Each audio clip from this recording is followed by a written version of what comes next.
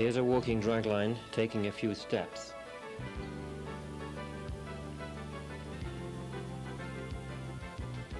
The machine is a Bucyrus Monighan 6160. It is stripping overburden and stockpiling ore in the tin mine in Nigeria, Africa. Bucyrus Erie Company purchased a controlling interest in the Monighan Manufacturing Corporation in 1931 and in so doing entered the walking dragline market.